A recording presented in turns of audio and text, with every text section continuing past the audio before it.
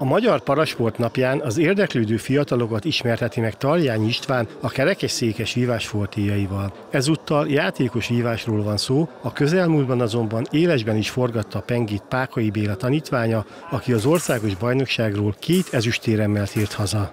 Teljesen elégedett vagyok, mert az országos bajnokságot azt Budapesten rendezik meg, és az A és B kategória együtt, tehát nem külön B és A kategória. Én a B kategóriából versenyzem, és ezért is vagyok roppant elégedett a két második helyjel, hogy ások között tudtam így megállni a helyemet. Oda kell tennem magamat ugyanúgy, mindenki azért megy ilyen versenyekre, hogy megnyerje. Én a kardot nagyon szerettem, a párbajtört is szerettem, de a kard a fő fegyvernem, és annak jobban örülök, hogy az sikerült.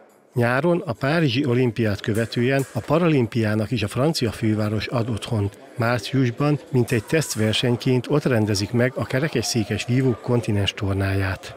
Párizsban lesz két hét múlva az Európa-bajnokság, azon a helyszínen, ahol a paralimpia rendezve lesz, úgyhogy most szembesülünk majd vele, remélem, hogy jó lesz.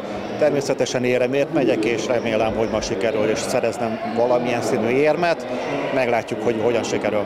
A két EB verseny közül egyik fog beleszámítani, és a legutóbbi Európa-bajnokságon ezüstérmet szereztem, egyetlen egy tussal kaptam ki a döntőben. Most egy aranyat tudok kiváltani, remélem, hogy sikerül, ha nem, akkor meg azon leszek, hogy a mögöttem lévő versenyzőket minél jobban megszorongassam, és úgymond nekik egy kicsit keresztbe tegyek. Tarjányi István jelenleg az ötödik helyen áll a világranglistán. Amennyiben az Európa-bajnokságot követően biztos lesz a részvétel a paralimpián, nem indul el az utolsó braziliai világkupa versenyen, hanem már elkezdi a felkészülést Párizsra.